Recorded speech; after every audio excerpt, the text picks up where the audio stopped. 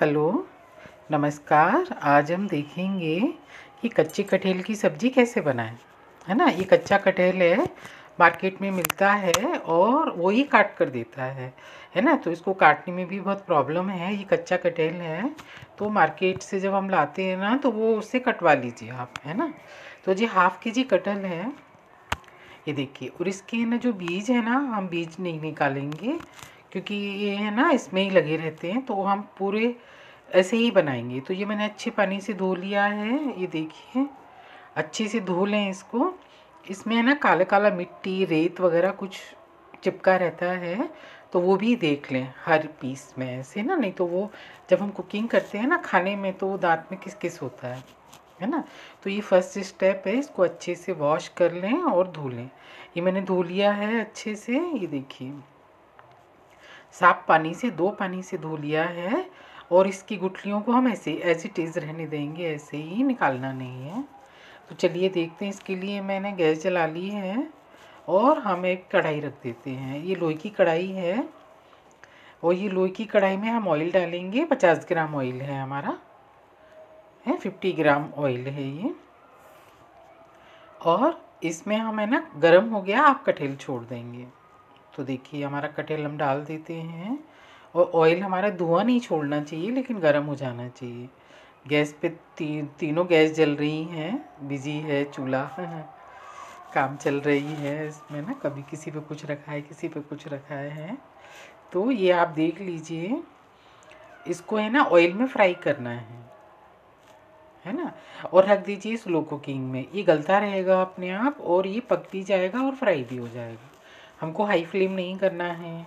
ज़्यादा ऑयल में नहीं सेकना है फिफ्टी ग्राम ऑयल में सेकना है इसको। और बस रख दीजिए, कुछ नहीं करना है। और ये चलाते रहिए, ये देखिए, ये हमारा अपने आप हो जाएगा।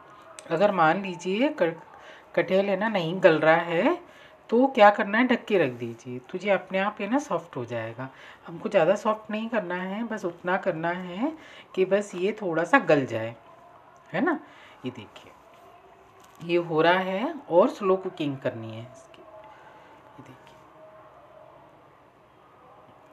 है ना? ये हो रहा है आराम से, कुछ इसका पानी है, उसमें ये गल जाएगा। जब तक हम अपना मसाला बना लेते हैं, ये हाफ़ स्पून टर्मरिक पाउडर है। और ये धनिया पाउडर है।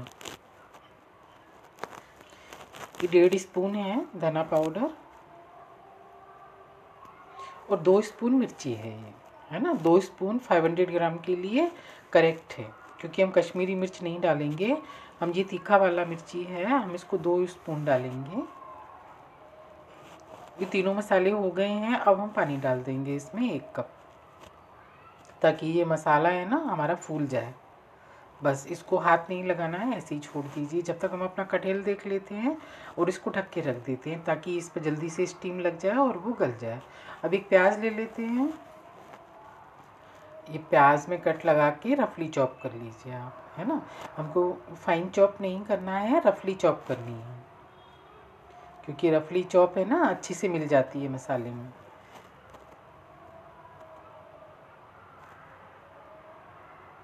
ये देखिए हमने रफली चॉप कर ली है इसको। और जब तक हमारा है ना कटहल भी हो रहा है, जब तक हम ये तैयारी कर लेते हैं।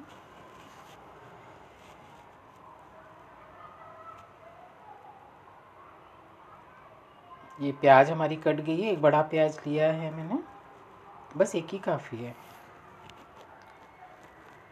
जो रह गए हैं, उसको भी छोटा बारीक कर लीजिए। ये देखिए, रफली चॉप है, ज़्यादा फाइन चॉप नहीं किया है मैंने।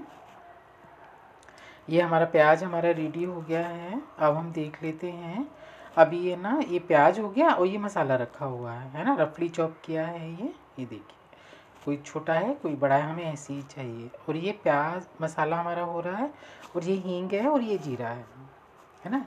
हींग, जीरा और मसाला और प्याज। अभी हम देख लेते हैं ये ये पत्ते हैं, तेज पत्ते। चार, तीन, चार ले लीजिए, मेरे छोटे छोटे हैं तो ले लिया। और ये है ना, ये है ना पत्थर फूल है, थोड़ा सा।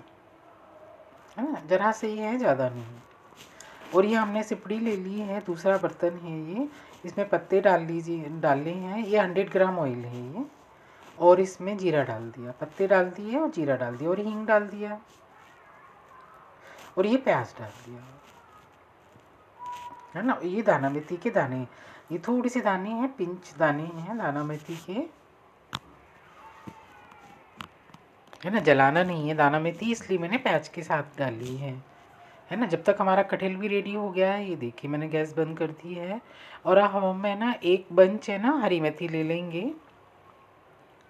एक मुट्ठी में आ जाए उतनी, है ना, धो लिया है और इसको काट लीजिए। अगर कसूरी मेथी है तो वो ऊपर से डलती है, लेकिन अभी ठंडी का सीज़न है ना तो हरी मेथी की ही सब्ज़ी में अच्छा फ्लेवर आता है। तो अगर आपके पास नहीं है तो स्किप कर दीजिए, सूखा मेथी भी डाल सकते हैं ऊपर से। कसूरी मेथी मेरे पास गीला है तो मैं ये गीला वाला हरा डाल रही हूँ। प्याज के बाद हमने मेथी डाल दी है ऑयल में। ये देखिए, ऑयल में इसको है ना, सोटे कर लीजिए। ये देखिए, ऑयल में प्याज, ऑयल और मेथी हमारा मेथी और प्याज ऑयल में बराबर फ्राई हो रहा है दोनों। हम्म, अभी देखिए कलर कितना अच्छा लग रहा है दोनों का।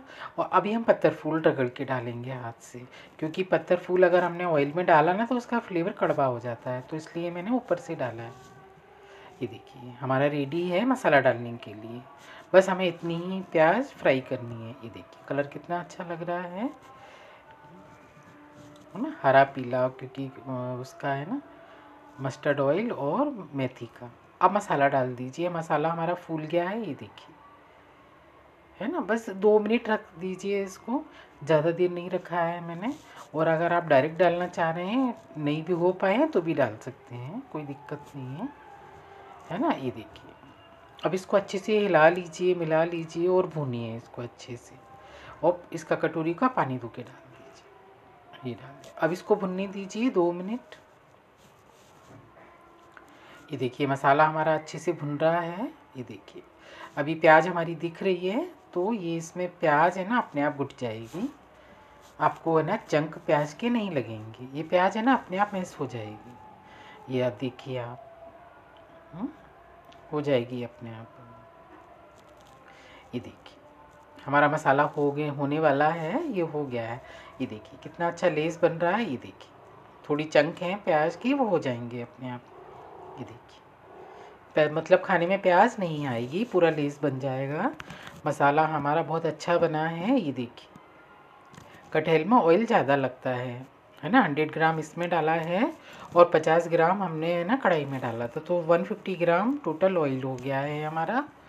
ये देखिए अब है ना कटहल के जो हमने फ्राई किए है ना रोस्ट वो डाल दीजिए कटहल। ये है ना हाफ़ गल गए हैं और थोड़ा सा मसाले में गल जाएँगे है ना? और इसको अच्छे से मसाले में मिला दीजिए। ये देखिए कलर हमारा कैसा आया है है ना? कसूरी मेथी वगैरह हमें कुछ वो आ, ना कश्मीरी मिर्च वगैरह हमें डालने की ज़रूरत नहीं है। ये देखिए अगर कसूरी मेथी डालना है तो ऊपर से डालेंगे। लेकिन मैंने तो हरा मेथी डाल दिया है तो मैं नहीं डालूँगी इसमें। इसका फ्लेवर ज़्यादा अच्छा था। अब नमक डाल दीजिए इसमें। वन स्पून तो नमक लग ही जाएगा इसमें। एक स्पून भर के नमक डाल दीजिए। और इसको मिला के रख दीजिए। अब हमने नमक डाला है ना तो कटहल अपना पानी छोड़ेगा, मसाला अभी, और इसको दबा के ढक के रख दीजिए। ये ढक जाएगा और स्टीम में हो जाएगा। ये देखिए। है ना? जी तार छोड़ दिया है ऑयल और इसमें थोड़ा सा पानी आ गया है क्योंकि हमने नमक डाला है ना तो रिलीज़ हो गया ये देखिए। कटहल हमारा सॉफ्ट हो गया है, ये देखिए। अगर आपका कटहल ज़्यादा रोस्ट हो गया है तो आप इसमें दो स्पून पानी डाल सकते हैं। लेकिन मैंने ज़्यादा रोस्ट नहीं किया है, मैंने ऐसे ही किया है और ढक के रख दिया था तो मैंने है ना, ज़्यादा ब्राउन नहीं किया है। इसलिए मैं पानी नहीं डालूँगी। आप चाहे तो इसमें आधी कटोरी साइड से पानी डाल दीजिए। और ढक के रख दीजिए। ये कटहल हमारा रेडी है, ये हो गया है। हो गया है हमारा कटहल। हमें ज़्यादा मैसी नहीं चाहिए, हमें ऐसे ही चाहिए। बस अच्छे से गल जाए। ये हमारा कटहल रेडी है। मतलब बन गया है। आपको टेक्सचर से मालूम पड़ जाता है। इसको मिला दीजिए और ये हमारा कटहल रेडी है। है ना? ये देखिए। ये सूखा कटहल, हमारा भुंजबांग कटहल है ना रेडी है।